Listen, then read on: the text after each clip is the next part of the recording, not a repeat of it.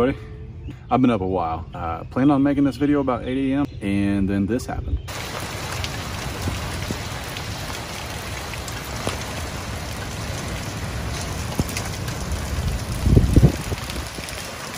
So now we're out here, we're gonna try it again. What I want you to know before you watch this, there are many, many, many different variables you've got to take into account when you're talking about a $25 raised bed. I'm using pine straight from your big box store. Okay, I'm using two by eights uh, instead of two by 12s. Depending on the soil where you're at, you can get away with something even shallower, uh, meaning your, your raised bed doesn't even have to be as, as deep as a two by eight. So many birds. The other variables are, do you have a truck? You wanna do a whole lot of work? You know, I ran over to our local uh, nursery here in town and they wanted $25 for a scoop of dirt in the back of my truck. It's a little high. Come here. Everybody see Cabela so we can finish making the video. All right, Vamonos. Come on, all right, Vamonos. Now she gotta go though, because her nickname's Diggy Diggerson. I don't need her in my garden. The good news is she can't jump though, so we're not gonna need a tall fence. But anyway, uh, $25 for a scoop of dirt. It's not, it's not too bad, depending on the dirt. Uh, and depending on the dirt that you've got in your area. Fortunate enough that when they built these houses out here in our neighborhood, there's almost two feet of good black dirt underneath each one of my raised beds. So that's a variable I get to have to my advantage. However, if you don't have a truck, where this video is gonna help you is I bought this dirt in a bag from the local big box. I bought this untreated pine from the local big box. I've got a saw, so I didn't need to have the store cut them, but you can. So there's money that you saved. You don't need to buy a saw.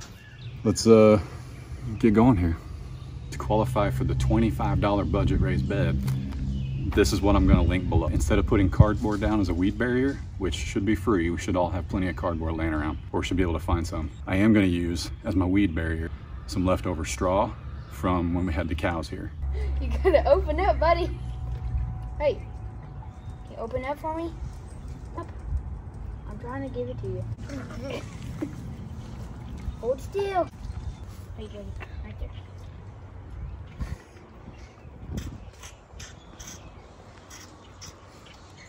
Uh, I'm gonna put that in the bottom of the bed. So you guys use whatever you have. If you guys came over from the Row by Row show with Hoss Tools, now we had no idea that was coming and we're very, very gracious. Uh, that was awesome. We love Hoss Tools. We've made several videos about ordering the seeds and unboxing them and some of our highest viewed videos. Uh, they were pretty funny because I just turned the boys loose and let them tell jokes while we do it. Cauliflower. I don't like We're learning new things. We're venturing out. We're gonna, bra- we gotta broaden our palate. What the heck's a palette? Hello, YouTube. So I'll link those up above, right?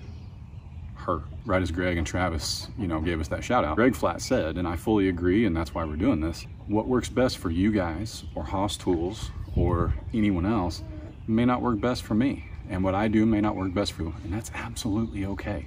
I don't have 30 by 30 plots to work with. Is a yard that's 72 feet across, about 55 feet deep, and I know that because I built this fence last year. Well, these raised beds are perfect for me. All right, so here's the important part. Long as you get for this build for the $25, two by eights by eights. Okay, now eight doesn't actually mean eight inches wide, and neither does a two by four. Four does not mean four inches wide. Yes, that's what it's understood, but it's not, okay? That's irrelevant for this build though. As long as your boards are eight feet long, I don't care if they're eight one or eight two, you just cut them in half. Whether you cut them in half or the big box cuts them in half, make sure you half them. There's that Lufkin tape measure. Let's give it another chance. It's supposed to be a 14 foot standout. There's nine. Nope. Nine and a half.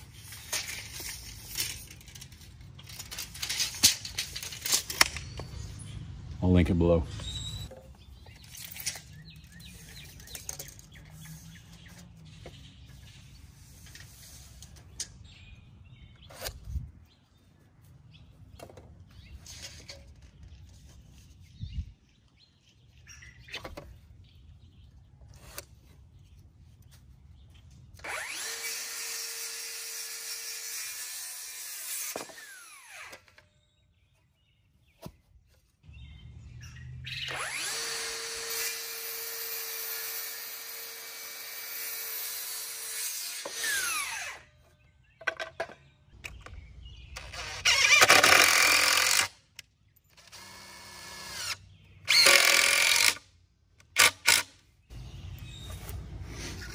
So here's another variable, okay? Nails, screws, drywall screws. You could even put a ratchet strap around it and just hold it, okay? So you gotta find something to hold these together. I've even seen people use cinder blocks or rocks that they had laying around their yard.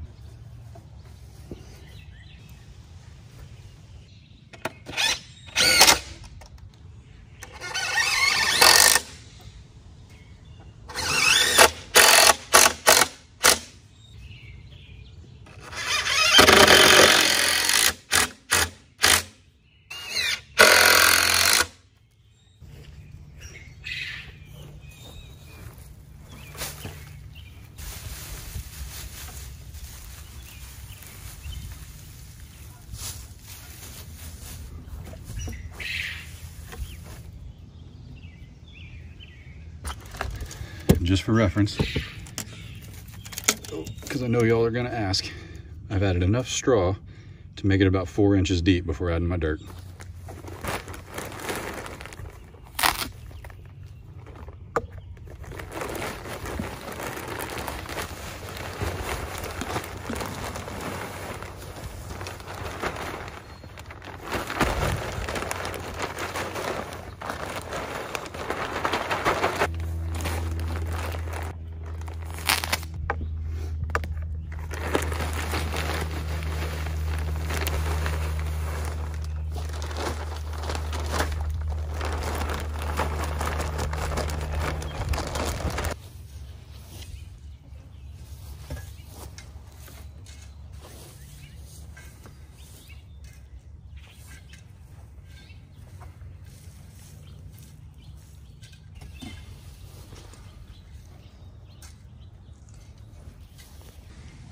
So pretty cool, $25 raised beds.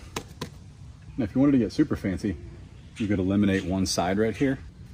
So then maybe what you could do is stagger this, eliminate this board and use half of that to create another raised bed. Uh, there's a lot of things you can do. You can see how fancy you can get. See, 25, 50, 75, 100, 125, 150, 175 there down on the end. And then the little short one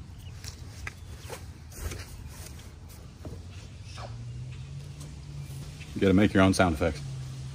But the little short one is just kind of a bonus. Add some leftover dirt, extra two by fours, two by eights, whatever. Just plant plants there that need to be shallower. Now you might be thinking, man, how long is that untreated pine gonna last? Well, that's completely relevant to where you live and what you put in it, okay?